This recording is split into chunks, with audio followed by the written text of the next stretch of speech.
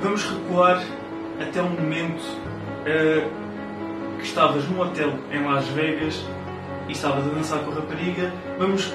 O que te recordas desse momento? Foi um momento que eu continuo a dizer que foi o momento mais difícil da minha vida. Foi o momento mais difícil que dei na minha vida. Pois, eu entendo. A América é lixada. Quase um país diferente. Uh, não, Ronaldo. Não é quase. É um país totalmente diferente do nosso. É quase um idioma diferente. Um idioma totalmente diferente. Tens razão, tens razão.